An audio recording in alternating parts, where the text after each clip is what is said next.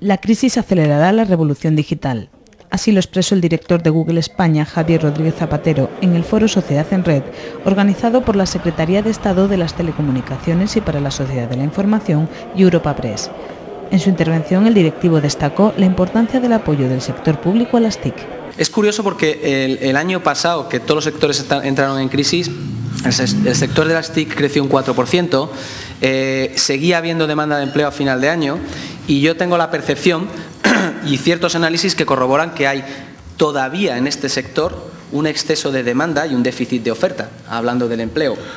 Con lo cual, eh, yo creo que todo apoyo es poco. Según Rodríguez Zapatero, Internet está cambiando los hábitos de comunicación y la forma de comprar a través del comercio electrónico. También la forma en la que accedemos a la información, que está más democratizada que nunca gracias a Internet.